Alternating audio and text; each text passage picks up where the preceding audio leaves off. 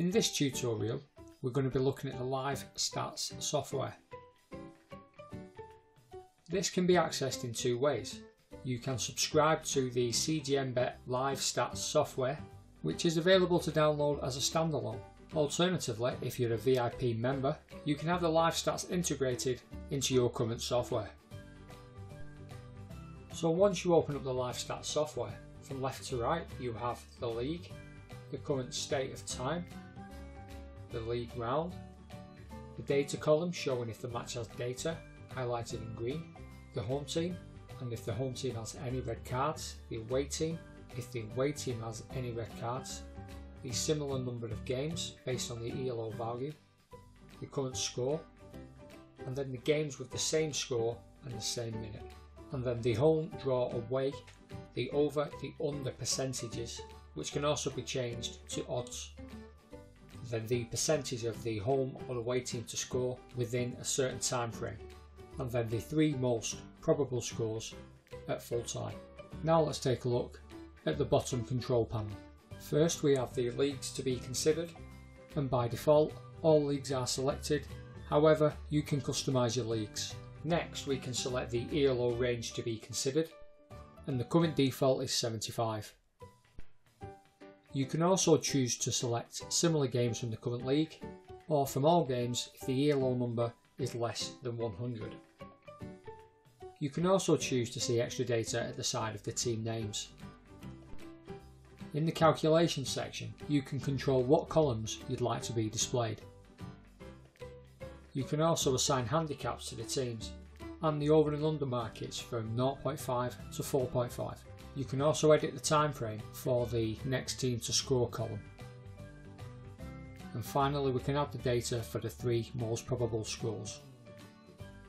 In the next section we can switch between percentage and odds, full time, half time or minute. The full time if the home team scores in a certain amount of minutes, the same for the away, or after a certain amount of minutes. And you can also highlight games in yellow if the offered odds by the bookmaker are higher than the calculated odds, providing the sample size of the games is over 100. This would signify a value bet opportunity. By default, the page will automatically refresh every 30 seconds, but you can disable this and you can refresh manually. Now let's take a look at some examples and how we can tweak the settings to give different results. So first let's change from percentage to odds and let's check the box to include the most three probable scores. The more columns you calculate, the longer it will take for the data to refresh. Now if we scroll across to the right, we can now fully see the top three likely scores. These scores are based on the most likely scores from the sample games, taking into consideration the current time and score. Now let's take a look at what happens to the odds when we consider games from the league only.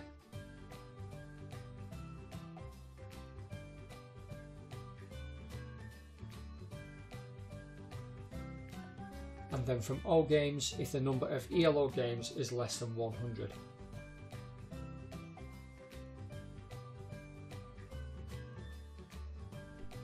Now let's take a look at what happens when we change the home or away team to score to the next 10 minutes.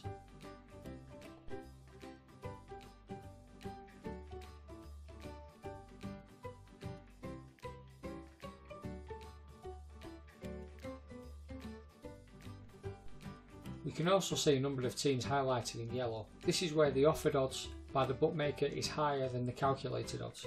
If we take the draw odds for Liège vs Rouen Mouscron for example, the bookmaker is offering 2.9, but the calculated odds suggest it should be 2.23, which presents a value bet opportunity. And in the end, this game did in fact finish a draw. The CGM Live Stats software is an extremely powerful tool and is constantly being updated with new features and functions. And for information on the latest updates, head over to cgmbet.com forward slash forum. This concludes the live stats tutorial.